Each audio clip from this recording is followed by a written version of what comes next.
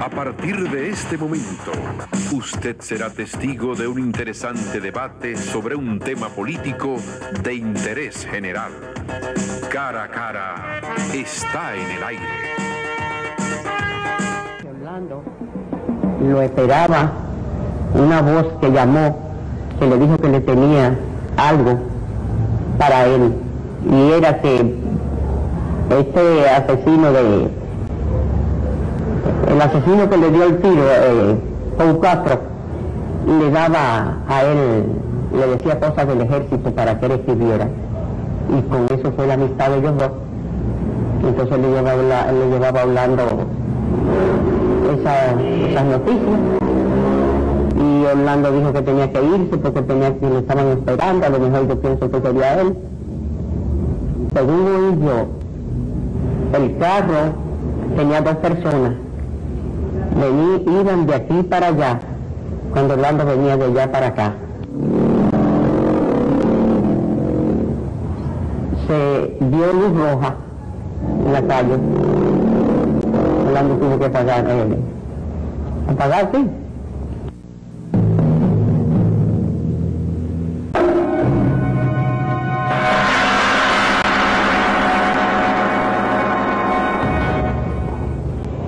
Fue y él le abrió la puerta hablando y se le metió adentro. Y le, que le dio el, tiro de gracia.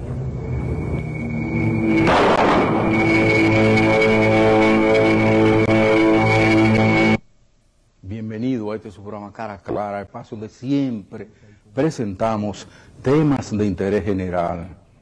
Siempre se ha dicho que la profesión de periodista es una carrera de alto riesgo, porque el periodista es el único profesional que arriesga su integridad física para defender el sagrado derecho que tiene la población a ser correctamente informada. Hoy nosotros queremos rendir un particular y fraterno profundo homenaje a Orlando Martínez Holley. Orlando sigue siendo, a pesar del tiempo, el escalón más alto de esta profesión, por más de una razón, y mucho más cuando uno observa como aventurero desalmado, elemento que no tiene ningún tipo de ética ni moral, amenazan con adueñarse de esta profesión y adueñarse del derecho que tiene la gente a ser informado. En nuestro país, muchos compañeros han dado su vida en esta profesión. Y básicamente en una etapa negra de la vida política nacional, en el gobierno de los 12 años del doctor Joaquín Balaguer.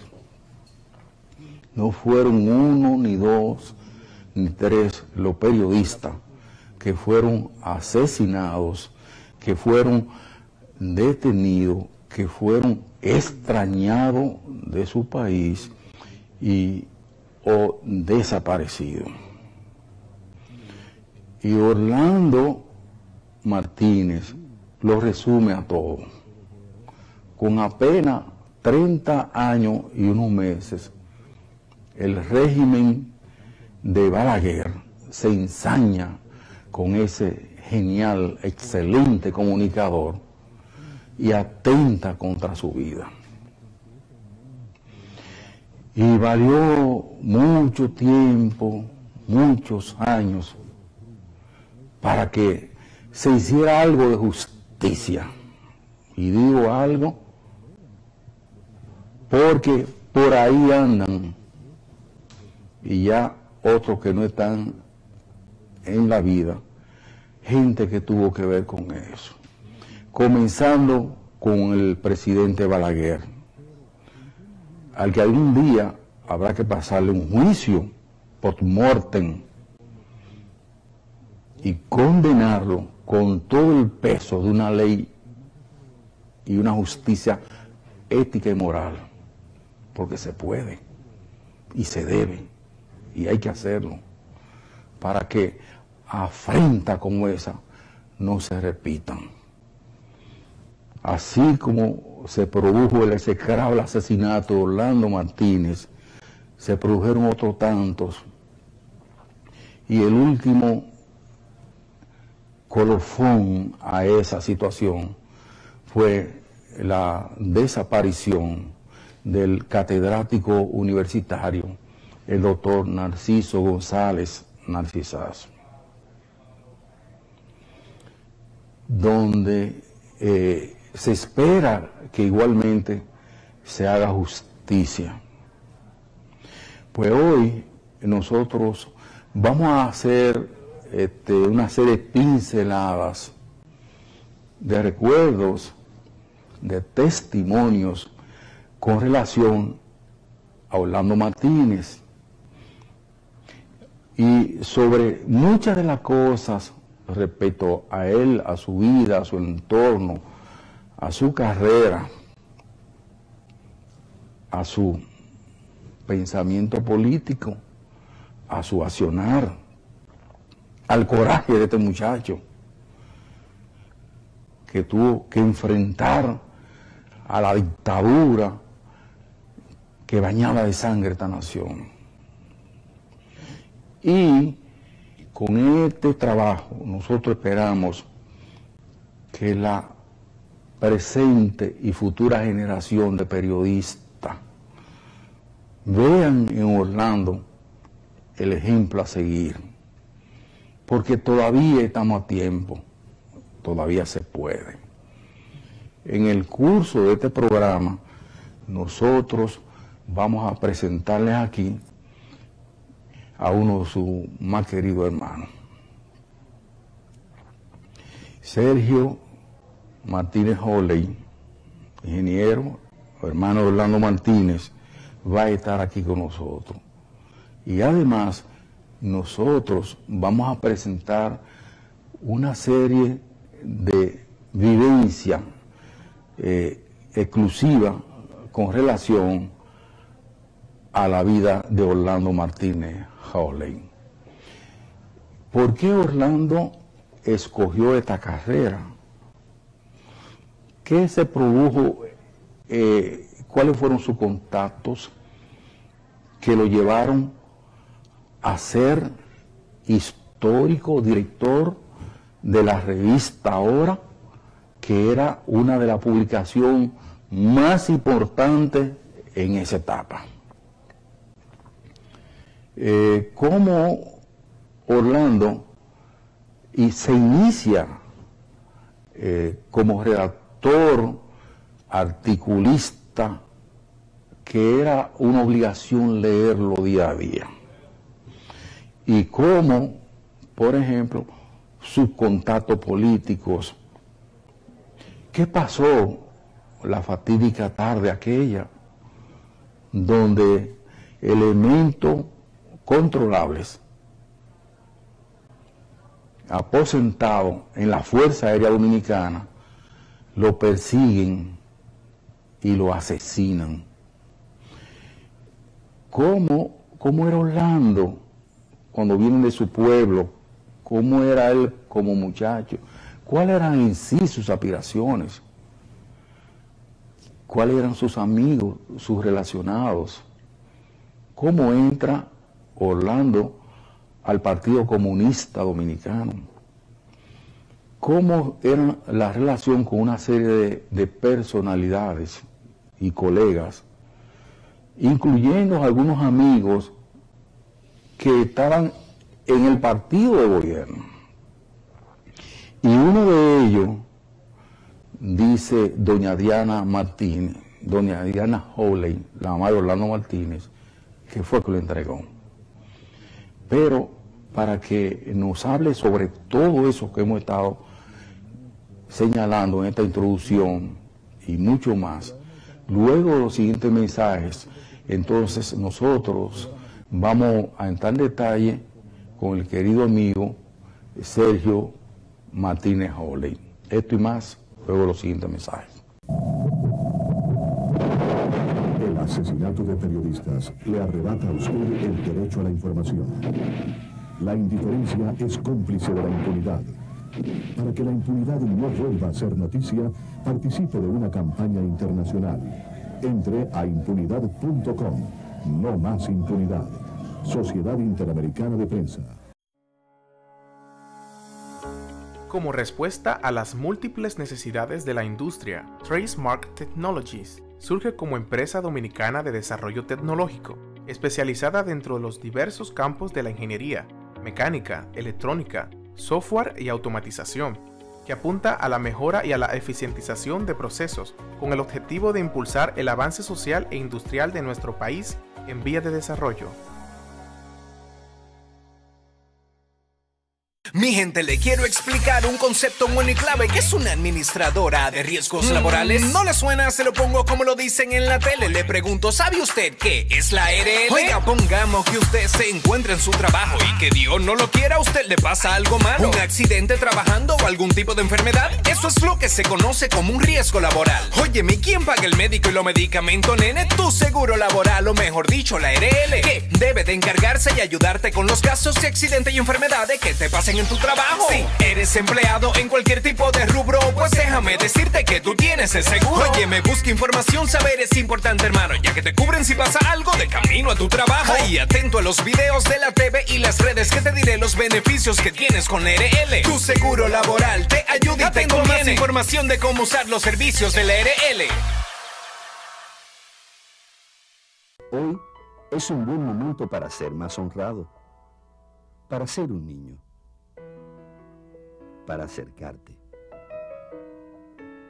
para ponerte en movimiento, para decirle que sí, para dejarte llevar, para perder el miedo, para empezar, para cambiar.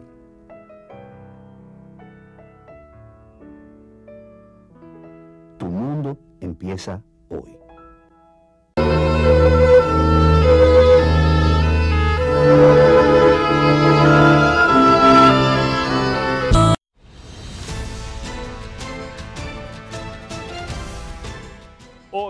Avanzado décadas, décadas en la República Dominicana.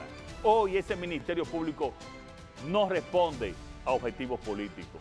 Hoy ese Ministerio Público no recibe órdenes del gobierno, ni mucho menos de su presidente. Hoy el que la hace, la paga, sea de quien sea, del partido que sea, del nivel social que sea o la supuesta cuña que pueda tener porque esa es la única manera en que se desarrolla una sociedad, cuando todos somos iguales a la ley. Estamos trabajando y estamos cambiando.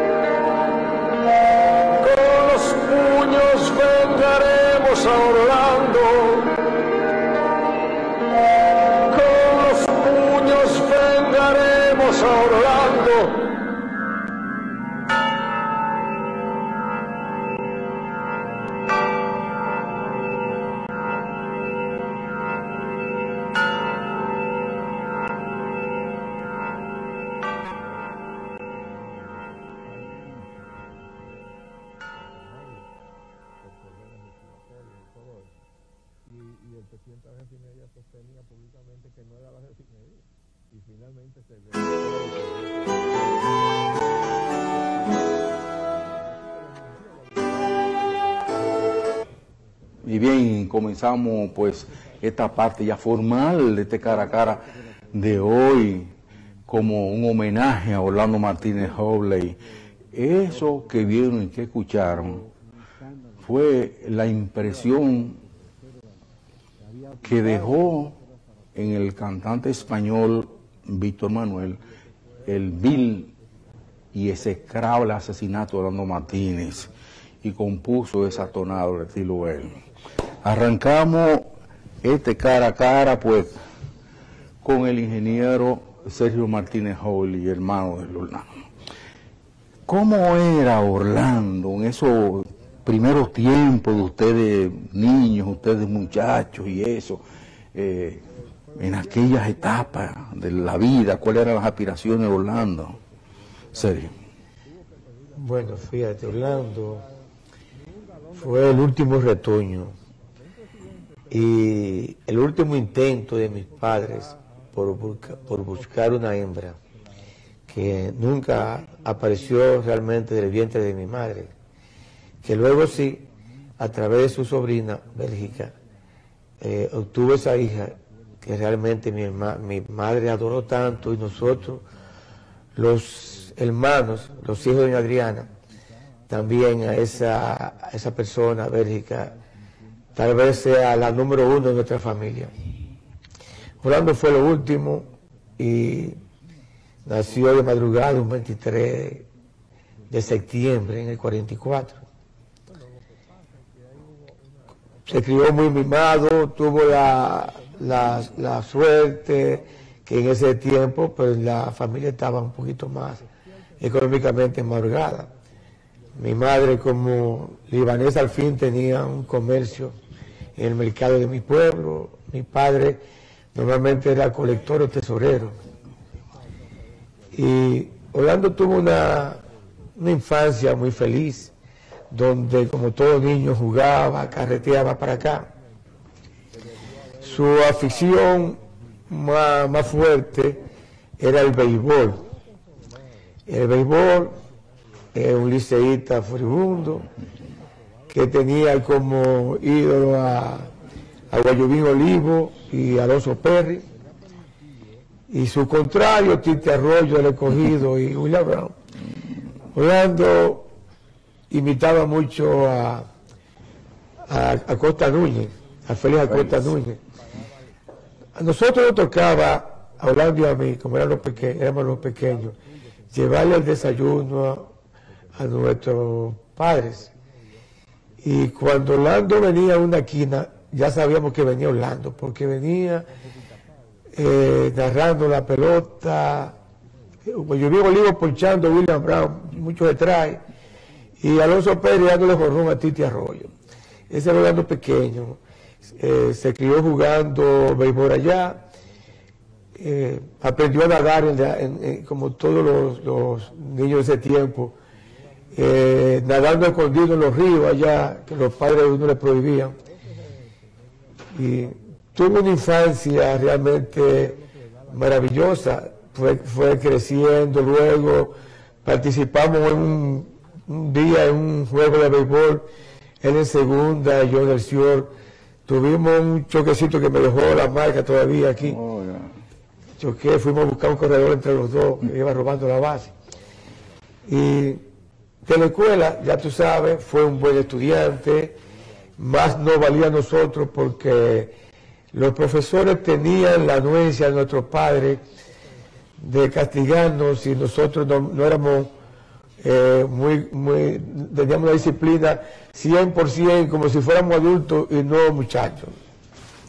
Así creció Orlando, su, la juventud allá, todo, mimado, querido, durante ese tiempo, hasta que decidió ya un poco ya joven, eh, venir a Santo Domingo a comenzar su preparación, que fue en la Escuela de Peritos Contadores.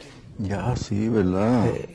Ustedes vienen de un pueblo del interior del país y se, fue, se ubican aquí en la capital.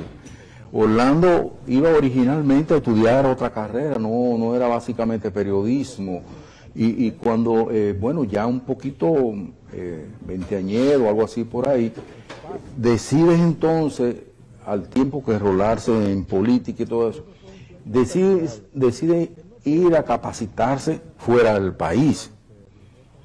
Y me dice Mario Emilio Pérez, queridísimo colega nuestro, él lo presentó al doctor Rafael Molina Morillo y al doctor Luis Ramón Cordero, director del periódico El Nacional, la revista Ahora en ese momento, y administrador, el doctor Cordero, y entonces le presenta y le habla sobre las condiciones de este muchacho, que eran excepcionales, un muchacho fuera de serie, y mucho más en aquella etapa tan difícil. ¿Cómo, eh, cómo él trató esa situación? ¿Cómo le explicó a la familia eso y cuál fue la actitud de ustedes? Porque mi papá no quería que yo fuera periodista. Bueno, tu, papá tal vez eh, eh, tenía razón en un sentido. Sí. En protegerte, en el temor, en la, el desasosiego que se vive en la familia. Pero por otro lado, hacen falta periodistas como tú. Fíjate que ahora mismo eh, realmente son periodistas preservativos. Tú oyes los programas de, la radio y, y periodistas escribiendo y tú te das cuenta que son gente que están defendiendo simplemente lo indefendible, simplemente por, por recursos económicos que le, dan. O sea, esos son pseudo periodistas. Eso es lo que le a llamar los periodistas preservativos y que no, no, por supuesto, no quería ser como eso. En cuanto a la pregunta que tú me hacías, realmente sí.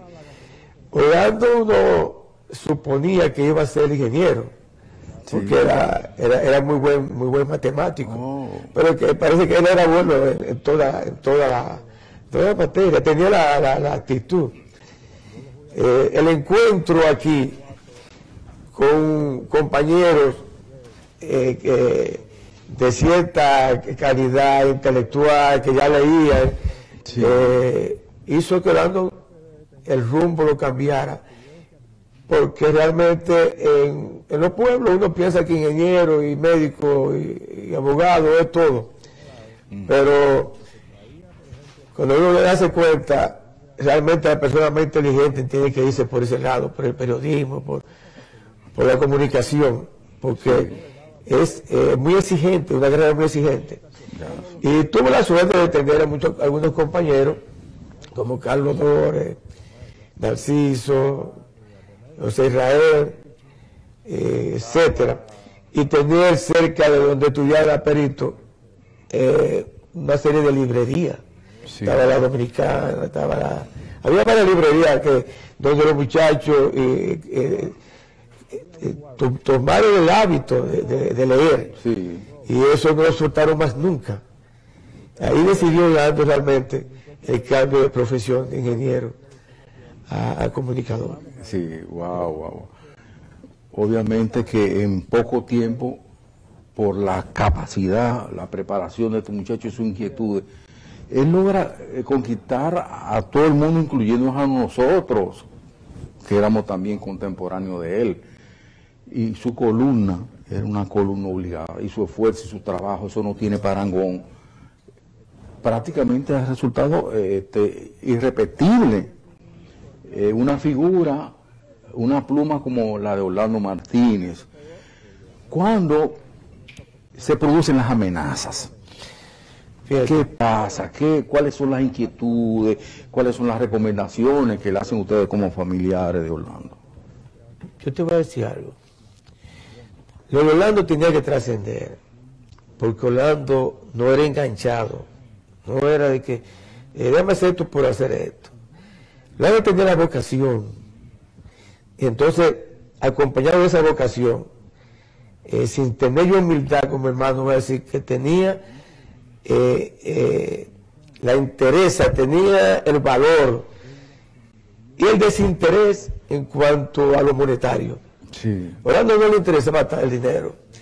Y es tan así que un día Orlando me, me dice un domingo que le preste 10 pesos para que él iba para la playa ese domingo con Marco Rodríguez, unos amigos de...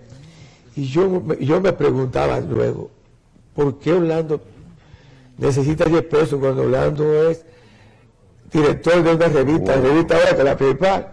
Cuando Orlando es un columnista diario y modesta aparte la, la columna radar, la columna esperada Sí. Porque era quien era capaz de decir lo que otros en ese tiempo no se atrevían. Y, decirlo con base, y decirlo eh, de una forma que la, gente lo podía leer y entenderlo. eso es lo más importante. Sí, con mucha claridad. Y realmente comenzó a recibir alguna amenaza. Una de ellas era la, que mandaba Crubrea en ese tiempo diciéndole que iba a amanecer cualquier día con la, con la boca llena de hormigas, que se lo qué para ti, que de la pantera, no me acuerdo de la pantera, eso que en ese tiempo. Sí, como todos esos muertos que hubo en esos tiempos, se dice que en el periodo de 12 años, serio, aquí asesinaron a más gente que toda la gente que murió en plena revolución, donde hubo una intervención norteamericana de más de 42 mil marines. Mira, nosotros nos preocupamos mucho cuando nos enteramos que Crubre andaba recolectando los artículos de Orlando. Y en la, librería. Nos preocupamos mucho, pero eh, nunca pensamos que se, iban a atrever a, llevar a cabo un crimen ante una persona que era un real del país, ante una persona que era querida del país. Claro, claro. Fue alevoso, un atentado, una barbaridad un crimen de Estado como quizá, eh, caramba, no se había repetido en este país. Y mire que aquí ha habido muchos crímenes de la época del propio eh, Trujillo, hasta prácticamente los otros días. Bueno, pero ellos, ah, fíjate, realmente no, ellos pensaban, y era el decir de Pérez Pérez, que, que aquí se podía matar cualquiera y que a la semana eso se olvidaba lo cual le falló con, con Orlando. Eh, yo recuerdo que le, hacía roncha, por ejemplo, del helicóptero el día que Balaguer cayó el helicóptero. Que más vale que hubiera muerto ese mismo día, porque hizo, siguió haciendo daño. quién sabe qué hubiera pasado, la gente se hubiera podido cuidar más si hubiera una trifurca entre, entre grupos y lo que sea. Pero ese tipo de cosas, hablando de decir lo que, lo que pasó cuando llegó Quito, que fue con el palacio allá, entonces, eh, eso hacía roncha. Y Orlando quería realmente tener su, su, público que le leía, tener la, tener la, la ciudadanía enterada de todas las, interioridades, lo que no se ve, lo que, está, Lo que está dentro. Y por eso él realmente estaba muy, muy, muy enterado, él vivía en ese, ese asunto y era capaz de decir las cosas y decirlo con claridad y sin temor. A él le estremeció igualmente que a toda la colectividad nacional el asesinato también vil y cobarde de Goyito García Castro. Y ese otro caso que nunca se ha aclarado del todo, los autores intelectuales del crimen de tu hermano Orlando Martínez todavía andan por ahí. Los autores intelectuales de, de además del propio caso de Goyito García Castro, entre otros y otros, andan por ahí como si aquí no hubiera justicia, si aquí eh, eh, se hubiera habido también cuando llegaron vos y su gente del exilio y enarbolaron la bandera aquella del borrón y cuenta nueva, y esa fue la gran tragedia nacional. Eso pasó también con todos estos crímenes que se han quedado prácticamente a mitad de aclararse. Tú sabes que, pero ponte a ver qué ha pasado realmente. Eh, esos reformistas que han tenido ese símbolo de Balaguer, simplemente que le sirven a esos gobiernos para darle votos y para ellos, para ellos eh, eh, con esos votos se llenan los bolsillos. son hipócritas, no es verdad que, que, ellos saben que Balaguer no era la persona con esos crímenes y todas esas cosas para tenerlo como un símbolo. Pero eso le da dinero, eso le da eh, influencia en, los, gobernantes que siempre están y nunca quieren salir de ahí, siempre quieren perpetuarse. Entonces, ahí van borrando. Inclusive eh, esos personajes se, han incrustado en los, partidos mm. políticos. Y como tienen el dinero, que no le costó nada en ese tiempo, pues fácilmente ellos se hacen, se hacen lugar, se hacen cabida. Claro, claro. Hay un gran amigo de tu hermano Orlando Martínez, que es Narciso Isacón, amigo tuyo también, amigo de todos nosotros, amigo de toda la familia, que tuvo una gran cuota para que ese caso no se cayera desde el punto de vista legal y se hiciera por lo menos un poco de justicia al final del tiempo, después del perdón de cuantos gobiernos ha habido y por haber hubo en estos últimos años en la República. Vamos a escuchar la opinión que tiene Narciso con relación a su gran amigo y compañero, eh, que fue Orlando Martínez. Él, eh, eh, Narciso Isaconde, tiene el merecido pues respaldo de todos nosotros y de la colectividad por su valiente defensa del caso Orlando Martínez. Pero esto va a ser luego los siguientes mensajes.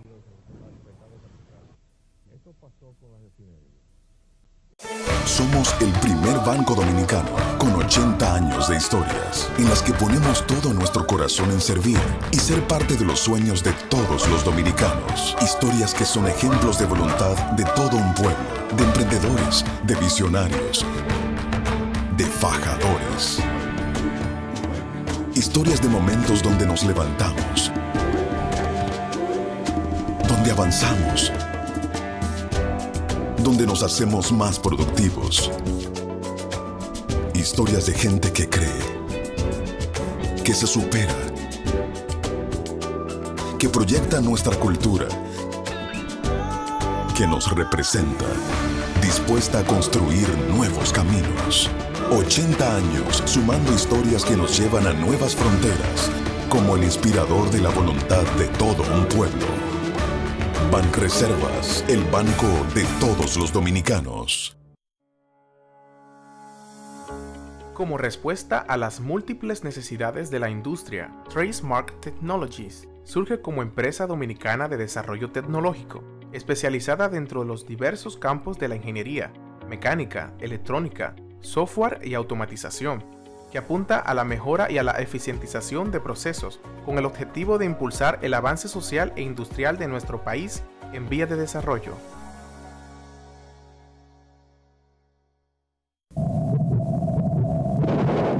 El asesinato de periodistas le arrebata a usted el derecho a la información. La indiferencia es cómplice de la impunidad. Para que la impunidad no vuelva a ser noticia, participe de una campaña internacional. Entre a impunidad.com. No más impunidad. Sociedad Interamericana de Prensa.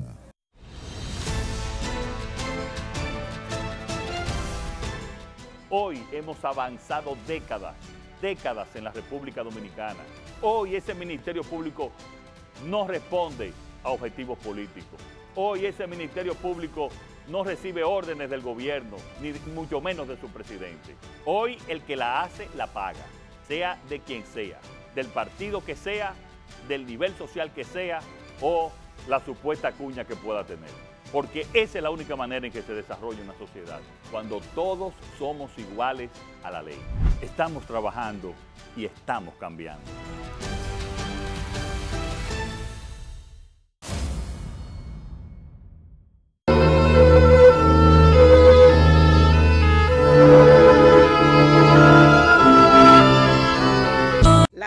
Tu familia es lo más importante, por eso la cuidas y la proteges. Para prevenir el dengue, chikungunya y zika, sigue estos pasos. Unta cloro en un paño para limpiar el tanque. De forma circular, unta cloro en la parte de adentro del tanque, por encima del nivel del agua. Espera 15 minutos para que el cloro actúe. Tapa siempre el tanque todos los días y a todas horas. Porque tu familia lo vale todo. Familia prevenida, familia sana. Un mensaje de Ministerio de Salud, USAID, SFH y PSI. Me siento altamente honrado al homenajear hoy junto a ustedes al insigne mártir Orlando Martínez.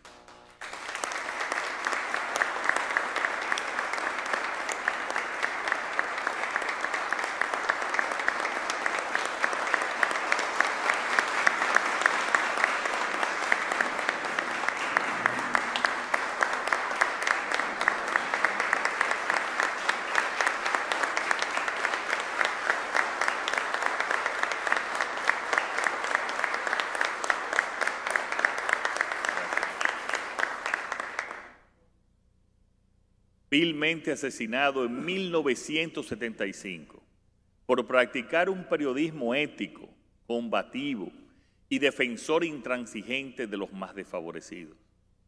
Sus denuncias contra la corrupción, los asesinatos y la conculcación de los derechos en nuestro país lo convirtieron en blanco de la ignominia. Orlando Martínez constituye para nosotros un símbolo de la lucha por la libertad, por la justicia, y por la palabra comprometida con los mejores intereses de nuestro país. Es símbolo de la dignidad de un pueblo que no se doblega jamás. Me honra enormemente acompañarlos en el lanzamiento del diplomado en periodismo ético. Por atrás al carro de Orlando. Yo le digo, le voy a recortar del vídeo, digo, ojo, jefe, usted chocó. Ahí se tira huyendo el nombrado Viverito primero y un poco más tardado se tira Mariano. Y, tiran dos disparos. Cuando, perdón, cuando se desmontan se desmonta eh, Orlando del carro a ver porque parecía que era un, choque normal. Cuando él ve que se tiran estas personas huyendo que logra ver se embala huyendo para el carro le están atrás y luego dos disparos vienen de regreso para el carro, huyendo, y el mayor Po dice esta frase, coño, ¿en qué lío ustedes me han metido?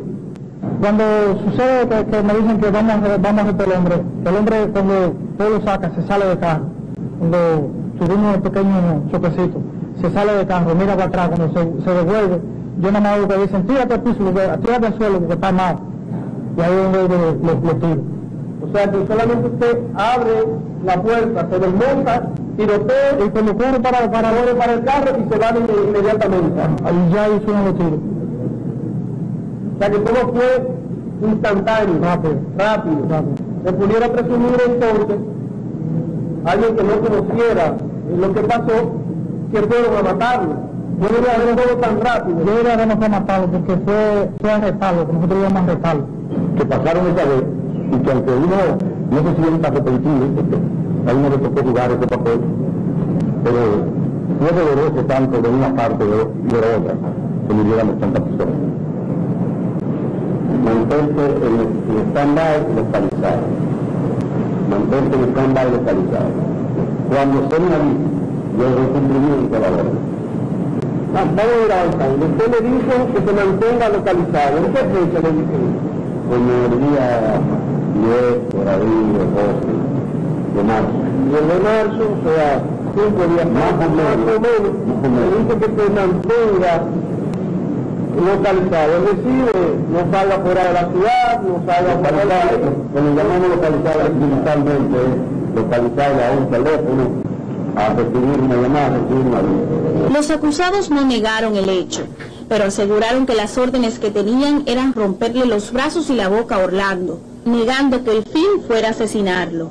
Luego de presentadas las últimas exposiciones en los que los abogados de la defensa plantearon argumentos basados en la amnistía y la prescripción, además de solicitar la citación de otras personas, entre ellas el expresidente Joaquín Balaguer, la madrugada del 3 de agosto, Katia Miguelina Jiménez, en avanzado estado de embarazo, determinó que los acusados Joaquín Antonio Pou Castro, Alfredo Lluveres Ricard, Mariano Cabrera Durán y Luis Emilio de la Rosa fueron sentenciados a 30 años de prisión cada uno y al pago de una indemnización de 20 millones de pesos, rechazando de esta manera las conclusiones tanto de la defensa como de la parte civil.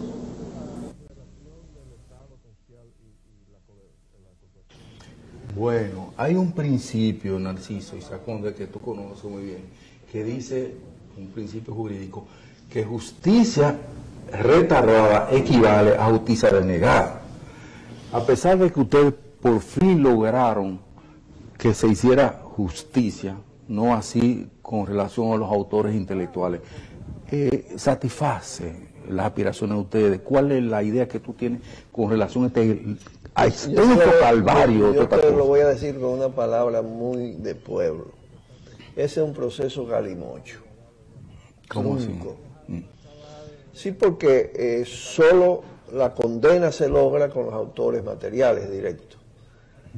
Eh, claro, el caso de Paul Castro, un caso relevante, en tanto ya había sido ascendido a general posteriormente y fue el jefe de operación del grupo criminal. Pero los autores intelectuales y los cómplices han quedado totalmente impunes. Algunos han muerto, como es Balaguer, quien evidentemente le dio luz verde al asesinato de Orlando Martínez. Hay una, una información de muy buena fuente de que cuando Cruz Brea, el recolector de los artículos de Orlando Martínez, le lleva el por qué no, doctor Balaguer, eh, Balaguer eh, hace un gesto que implicaba aprobación del asesinato. Nunca Balaguer daba una orden directa, maten a este, así verbal, porque él se cuidaba de todo esto. No sabía quién lo podía estar grabando, si lo hacía, si algún servicio de inteligencia especial. Por eso él no daba la orden, pero evidentemente Balaguer fue el principal autor intelectual. Ahora, el, asesinato se decide en el Estado Mayor de las Fuerzas Armadas, lo que le da un carácter de, asesinato de Estado, de crimen de Estado clarito. Eh, un 8 de marzo, la reunión en la Secretaría de las Fuerzas Armadas, en el despacho de Milo Jiménez, es donde se toma la decisión, y es Salvador Lluvere Montaje, jefe de Estado Mayor de la Fuerza Aérea, quien, a quien le encomienda llamar a Pau Castro y a Isidoro Martínez para encargarse de la parte operativa.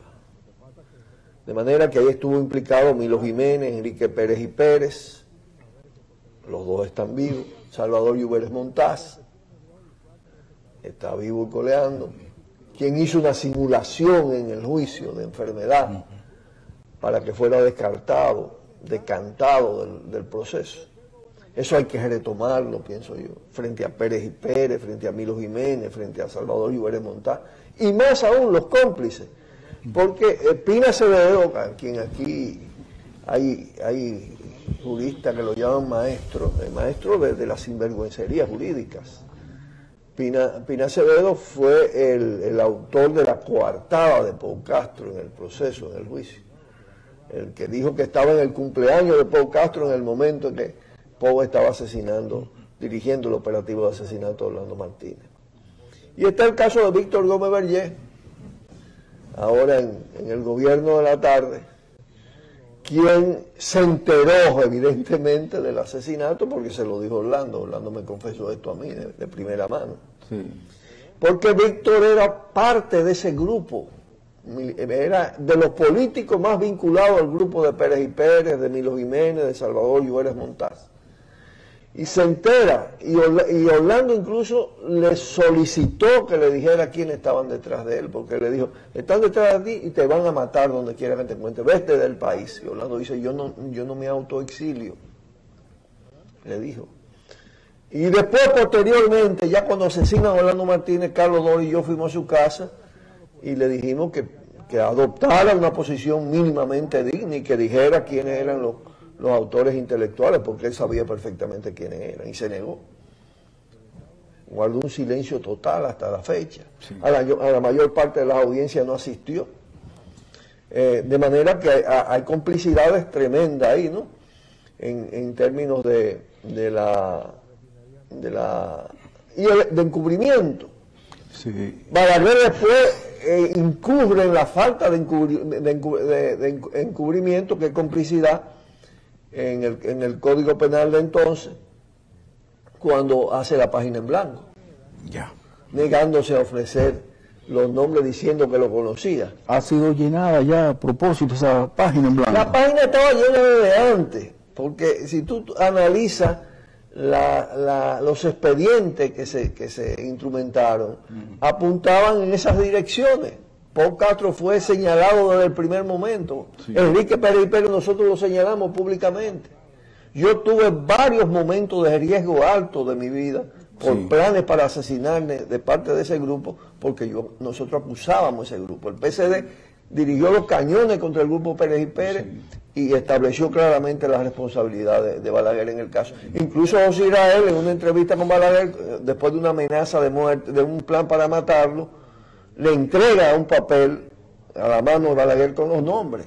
Ay, ay, ay, y, y, y, y, Sergio tú creo en la reunión mm. donde su hermano eh, Edmundo mm. le entregó los nombres a Balaguer dijo es que es un, es un, es un problema de Estado. Y ¿eh? también lo asesinan a Edmundo. ¿Eh? Y asesinan a Edmundo después de él. En el juicio, Enrique Pérez y Pérez señala a la jueza, la magistrada Katia, eh, que él no puede decir lo que sabe porque temblaría la tierra. Y ella le dijo, pues que tiemble la tierra, dígalo. Porque eh, eh, fíjate que cuando agarran a Paul Castro preso, ya en el 97, él dice, ¿y dónde está el general Enrique Pérez y Pérez que no está aquí? Nada más a los chiquitos que no van a, no van a llevar. Eso está en, eso está en, en, el, en, el, interrogatorio. Sí. ¿Eh? Es, es, es, mira, hay tres. Cruz Brea era el nombre de, de, la inteligencia militar. Era el experto en inteligencia y en espionaje del grupo. Y por eso es el que le da seguimiento, porque uno de las labores de los jefes de inteligencia es darle seguimiento a lo que uno escribe, a lo que uno habla. Y coleccionaba, eh, eh, Orlando en un microscopio en la revista Ahora, sí. todavía no, no, estaba la columna en el, o sí estaba, pero en, eh, él hacía el microscopio semanal también en la revista Ahora. Sí. señala, a, la, le, lo llama el coleccionista. Sí. Y habla de que está coleccionado, y entonces lo define como un fascista criminal asesino y le dice, si a mí me pasa algo, ¿eh? este hombre tiene que ser investigado. Es un testimonio previo a la muerte. Claro, claro. Además, ustedes mencionaban el caso de Goyito. El caso de Goyito fue el que agudizó todo el tema del plan criminal contra Orlando. Porque Orlando denunció la participación de Cruz Brea como jefe de la policía en ese crimen. Con aquel, eh, creo que era cabo del servicio secreto en ese momento, Arias Núñez creo que era, que murió, que era de, Matagorba, Baní, quien, quien fue el que le da el disparo en la cabeza a, Goyito. Y Orlando relató incluso el, pleito que tuvieron eh, Cruz Brea y Ney en, el antedespacho de Balaguer con ese tema. Y se tuvieron ir a, un duelo, a una sacar armas y todo esto. Y, Orlando lo relata. Después de eso, Orlando recibe la primera amenaza escrita del comando, creo que era Pantera Negra. Pantera Negra, manuscrito y lo publicó en la revista, en el periódico Nacional, en su columna, Orlando publicó la amenaza.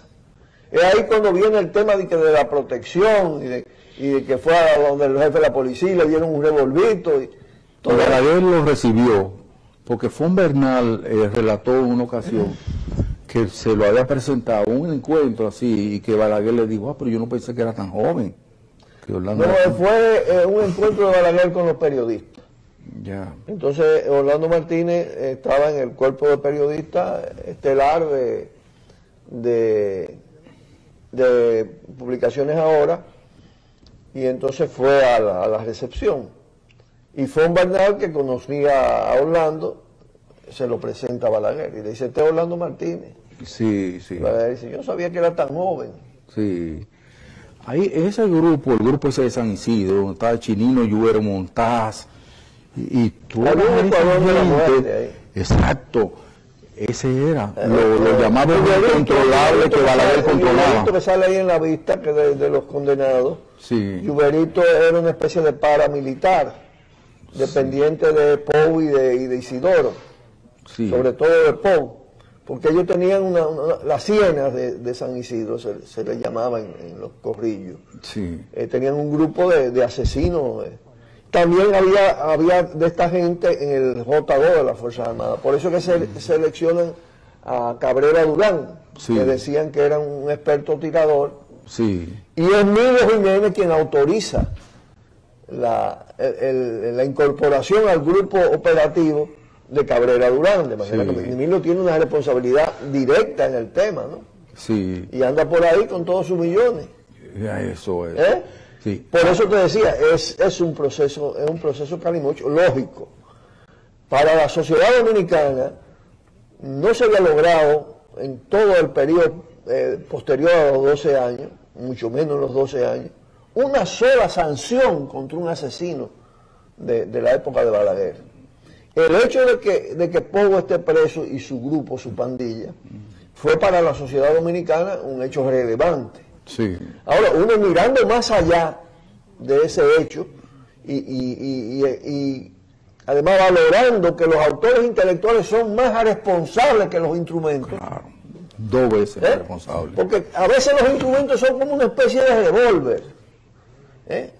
tipo iletrados, brutos. Sí. Que, lo que saben es hacer desafuero, torturar, matar. Sí. Eh, parte de, su oficio es eso. Sí. O ser sicario. exacto. Hay un trabajo que es definitivamente el que provoca la terrible acción que le acontece a Orlando Martínez y a esta sociedad. Y es cuando Orlando publica su trabajo en defensa del gran, el eterno Silvano Lora que intentó varias veces venir a su país y el régimen dictatorial de Joaquín Balaguer se lo impedía hasta que Orlando reventó. ¿Qué fue lo que pasó ahí? Mira, yo tuve mucho que ver en esa, en esa situación porque a mí me tocó desde la dirección del PCD ser el enlace y participante permanente de un grupo muy selecto que teníamos integrado por Orlando, por Emma Tavares Justo, por Pericle Franco Ornes eh, y otros más, que no voy a mencionar, están en, funciones, algunos en funciones públicas. Y ahí decidimos, nosotros estábamos empeñados en una campaña por el retorno de, de Silvano, que tenía ya 11 años de exilio y estaba en Panamá. Y habíamos desplegado una campaña fuerte y habíamos acordado con Silvano que se apareciera en el aeropuerto. Sí. Entonces, los que fueron designados para recibir a Silvano, para estar presente en el momento que Silvano llegara Sí. y verlo por el vidrio del aeropuerto, de montarse del avión, fueron Emma Tavares y, y Orlando.